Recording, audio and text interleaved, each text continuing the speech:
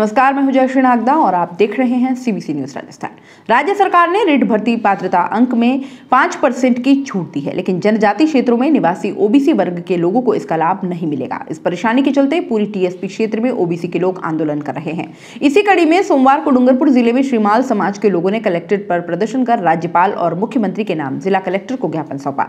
समाज के सचिव राजेंद्र श्रीमाल ने बताया कि रिट भर्ती परीक्षा में सरकार नॉन टीएसपी क्षेत्र में ओबीसी वर्ग को पाँच छूट दे रही रही है। लेकिन टीएसपी एरिया में ओबीसी वर्ग लोगों को इसका लाभ नहीं मिलेगा, जो कि इन लोगों के संवैधानिक अधिकारों का उल्लंघन है। टीएसपी एरिया में रह रहे लोगों को 21 परसेंट आरक्षण भी नहीं मिल रहा है। श्रीमाल समाज जनों ने मिलकर रिट परीक्षा में पाँच परसेंट छूट देने टीएसपी एरिया भर्तियों में इक्कीस परसेंट छूट देने की मांग सरकार से की है।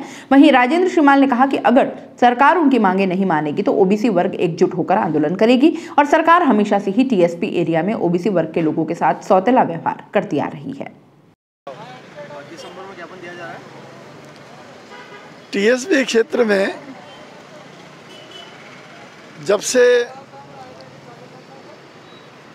जनरल को 50 परसेंट, एसटी को 45 और एससी को 5 प्रतिशत आरक्षण दिया गया है, तब से ओबीसी वर्ग को बिल्कुल शून्य कर दिया गया है। ओबीसी वर्ग को किसी भी प्रकार का लाभ नहीं दिया जा रहा है। अभी आप देख रहे हैं कि रीट की विज्ञप्ति जारी होने वाली है।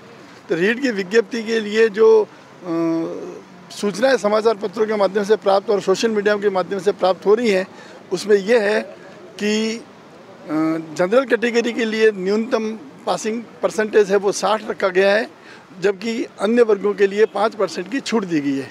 तो टीएसपी क्षेत्र में ओबीसी वर्ग के जितने भी लोग हैं, उनको इस प्रकार का बेनिफिट नहीं दिया गया है। इसलिए हम माननीय राज्यपाल महोदय और माननीय मुख्यमंत्री महोदय से विज्ञापन, ये ज्ञापन देकर ये आग्रह करते हैं कि टीएसपी क्षेत्र के में अनुसूचित जाने जाति और एससी को जो बेनिफिट दिए जा रहे हैं, उसी अनुरूप ओबीसी वर्गों को भी ये छूट का लाभ दिया जाए। पाँच परसेंट छूट का लाभ इसको न्यूनतम परसेंटेज के अंदर दिया जाए। अन्यथा एक बहुत बड़ा आंदोलन हमको खड़ा करना पड़ेगा, क्योंकि टीएसपी क्षेत्र के अंदर क्षेत्र को भी बढ़ा दिया गया है। पहले छोटा क्षेत्र था अब सिरोही वगैरह अन्य जिलों को जोड़कर बहुत ज़्यादा बड़ा क्षेत्र कर दिया है और पदों के अंदर भी वृद्धि नहीं की जा रही है। इस प्रकार से ऐसा लगता है कि राजस्थान सरकार ओबीसी वर्गों को टीएसपी क्षेत्र से समूल नष्ट करना चाहती है। उनको किसी भी क्षेत्र में आगे बढ़ने का मौका नहीं दे रही है। सीबीसी न्यूज़ राजस्थान की यह खबर आपको कैसी लगी? नीचे कमेंट करके ज़रूर बताएँ। अगर आप YouTube पर देख रहे हैं तो सीबीसी न्यूज़ का चैनल सब्सक्राइब करिए, पास में दिख रहे बेल आइकन को भी दबाइए, ताकि जब भी हम आपके लिए कोई खबर, कोई जानकारी लेकर आए तो सबसे पहले आपके पास नोटिफिकेशन पहुँचे। अगर आप फेसबुक पर देख रहे हैं तो सीबीसी न्यूज़ का पेज लाइक करिए। अगर आप इंस्टाग्राम पर देख रहे हैं तो आप हमें फॉलो कर सकते हैं।